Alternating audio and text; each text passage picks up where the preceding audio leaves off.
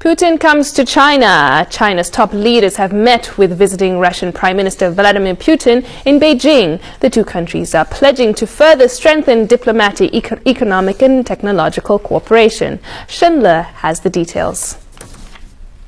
President Hu Jintao hosted Vladimir Putin at the Diaoyutai State Guest House. Hu Jintao spoke highly of the new development in the strategic partnership between the two countries. President Hu said that 2009 marks the 60th anniversary of diplomatic relations between China and Russia, which is a milestone in Sino-Russian relations. He also says the strategic partnership is a crucial point showing a brighter future. China is willing to work with Russia to seize the opportunity to further promote cooperation in areas of trade, energy and high technology.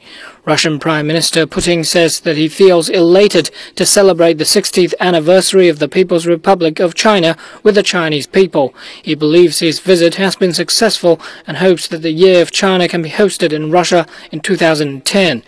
Top legislator Wu Bangguo met with Prime Minister Putin at the Great Hall of the People. He congratulated Putin on his successful visit and says that the cooperation has brought about substantial benefits for people from both countries. Putin says Russia will implement the agreements signed in previous rounds of talks and highlighted the importance of friendly exchanges between the two sides. Vladimir Putin is on his first official visit to China since becoming prime minister in May 2008. Shen Le, CCTV.